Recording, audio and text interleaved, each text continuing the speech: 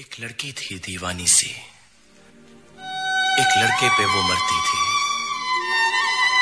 नज़रें झुका के, शर्मा के गलियों से गुजरती थी।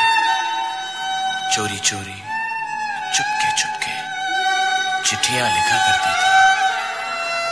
कुछ कहना था शायद उसको। जाने किससे डरती थी।